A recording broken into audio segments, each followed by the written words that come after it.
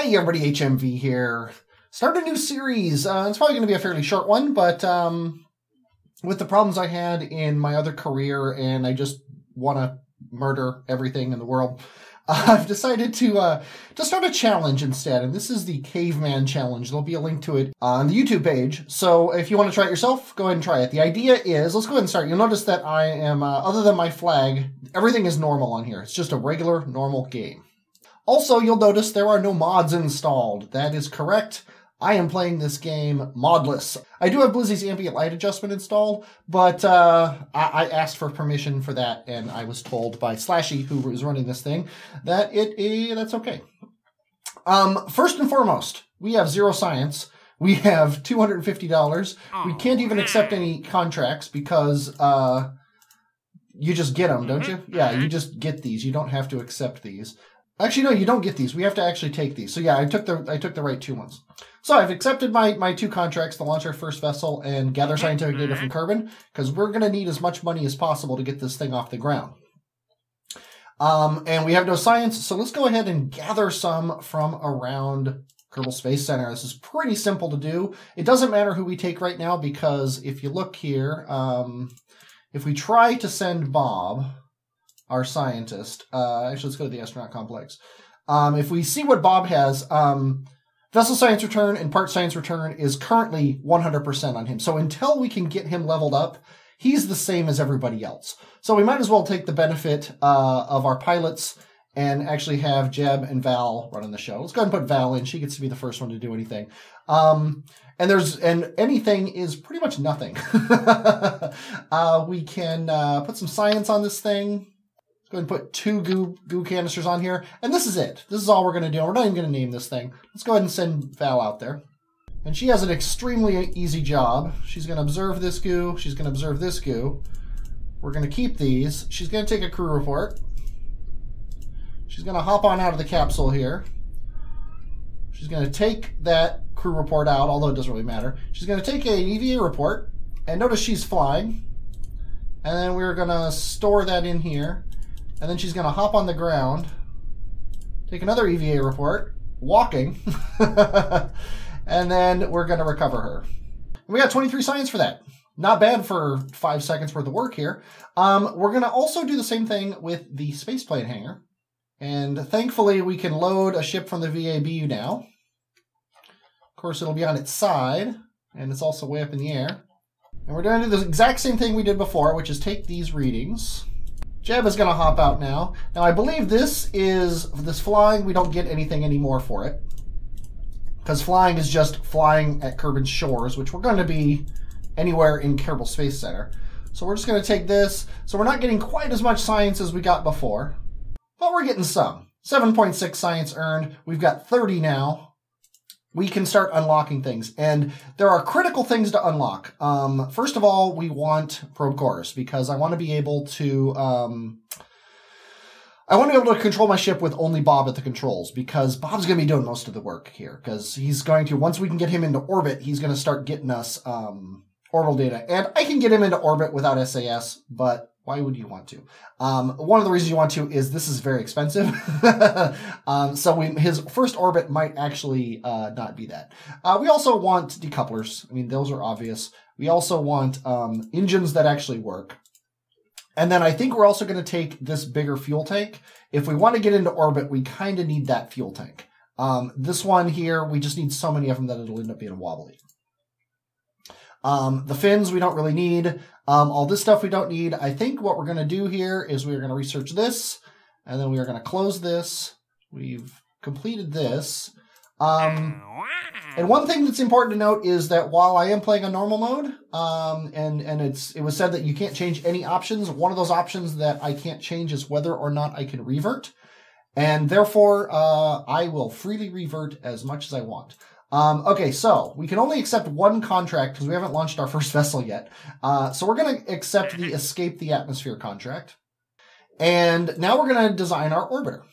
And that pretty much means, yes, I have decided to, uh, oops, there we go. I have decided to um, forego probe coring, at least to get into space, just because it's so expensive. Um, and this is a this is a joyride. We are not uh, we're not going to bring up any science. Uh, let's go ahead and bring the swivel. Might as well have the freedom here. And uh, the problem is this thing's going to get really back heavy. So this might not work. But that's what that's what happens here. Uh, I'm not using Kerbal Engineer. I have no idea how much fuel, how much delta V this guy has, but this should be enough to get us into orbit. Um, considering that we don't need 4,500, we only need 3,300 or so. So let's go ahead and call this orbit. oh, wait. Oh, you can't put question marks? Oh, man. Okay, fine. We'll call it orbit one. Let's go ahead and launch this guy. Um, we want Bill at the controls, or I'm sorry, Bob at the controls, our scientist. Let's go ahead and save and launch. Oh, that's going to drive me nuts. not being able to hit, uh, I guess I can hit Z, uh, but not having, um, this at full to launch. That's going to, that's to be, that's to be enjoyable. We'll just say that. Um, not having Kerbal Engineer, you don't, you're not able to always tell certain things about your ship. One way to get around that is thrust-to-weight here. You see, I've got, uh, right now I'm at, I'm at 1G because we're sitting on the surface. But as soon as I hit the space bar, you can tell our thrust-to-weight is about 1.5 because one of them is overcoming Kerbin and the other one is doing this. Another thing that you don't have, whoa, in, uh, in this is a very good apoapsis reading. And there's that, there's nothing I can do about it. But once we get going here, you notice we are following the we are following the prograde curve.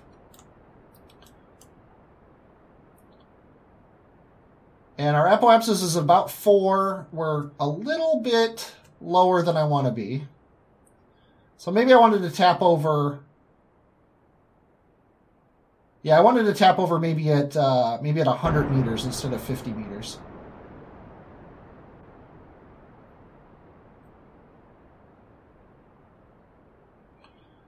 We're doing pretty good here. Things are looking pretty good. Without SAS, the, the fins are, are keeping it quite well. We are, uh, yeah, we're, we're definitely too low, though. But we'll see what happens. We're actually looking very good.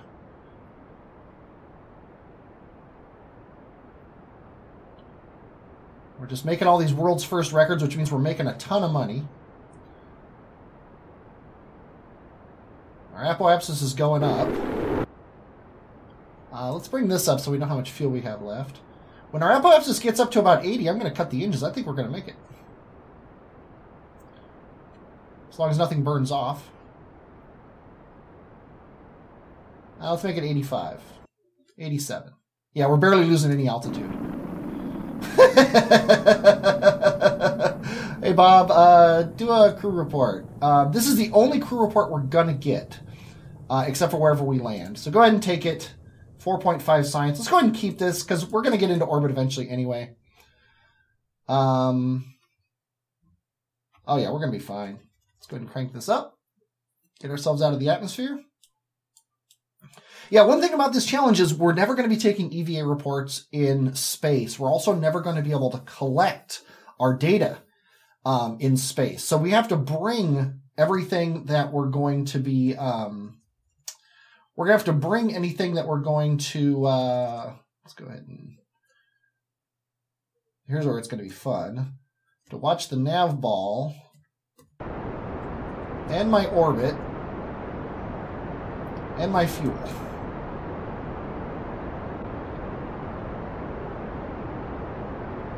Oh wait, one thing I want to do before anything happens, we need to go back to the Space Center because I do not want to lose this contract.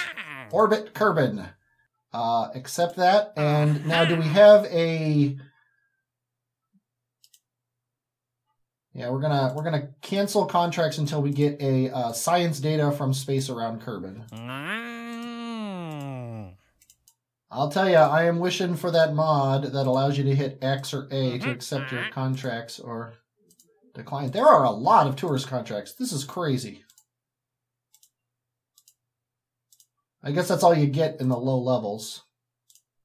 Okay, I'm at the point now where I don't care. Okay, I'm giving up. This is uh, this is boring, and one of the one of the reasons I oh my god, we got 19 contracts.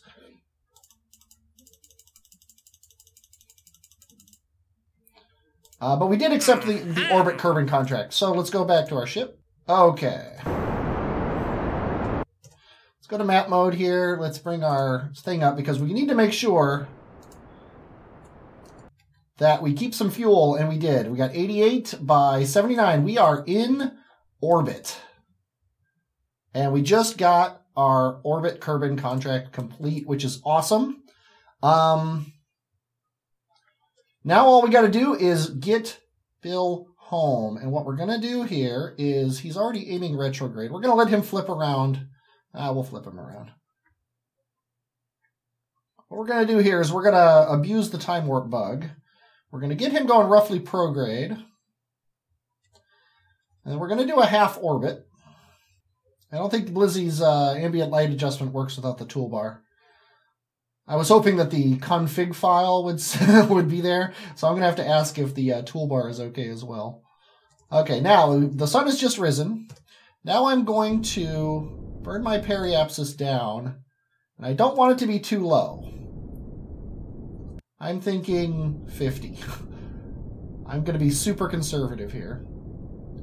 Uh, another thing we can do here is, because we're playing uh, normal mode, we can hit F5 to save and not feel bad about it. So we're going to ditch our, we're going to ditch the rest of our fuel.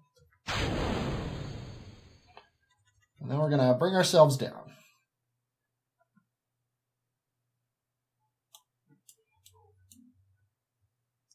Ideally, we are going to be aerodynamically stable backwards. Looks like we are. And now the, the key here is, as anybody who watched uh, the last Squadcast knows, is to um, not hit the parachute until you're going under 250 meters per second. And also, if you don't know this, you can actually see safe to deploy, unsafe.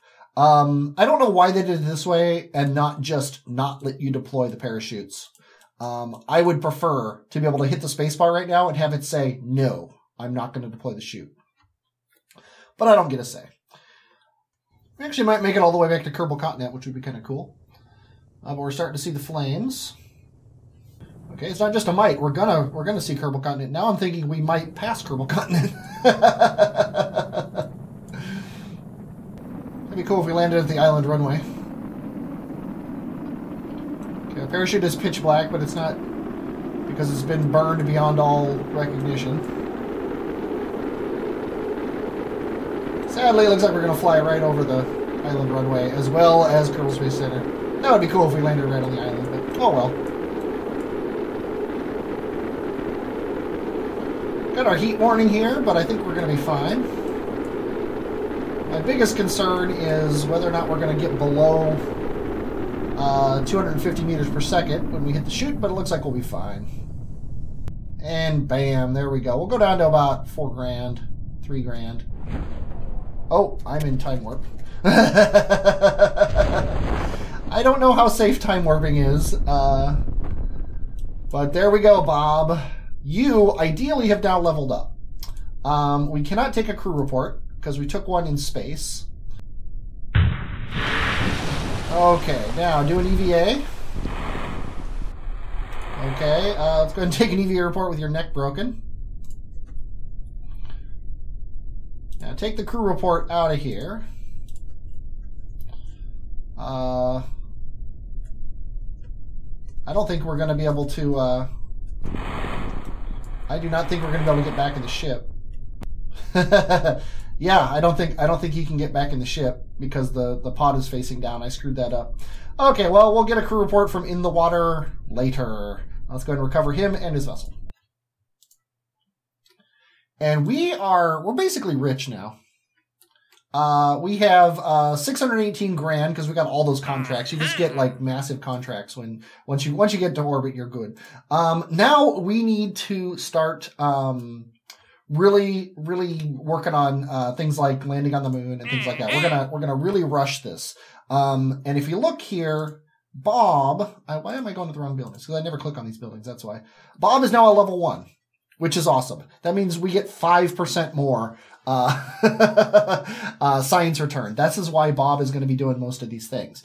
Um, and this is it for this episode. Um, I am going to fast track um, certain things. I'm going to fast track aviation for a reason that that might not be obvious right now. Uh, I'm going to fast track this probe core because while I can orbit, I'm sorry, not this probe core, this probe core.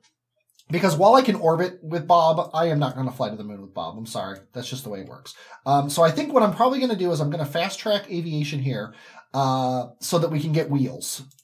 Um, and then uh, with a little jet powered uh, rocket, uh, car, basically a jet powered rocket car, um, we can drive around Kerbal Space Center and very easily pick up all the science around Kerbal Space Center. That's that's my next goal.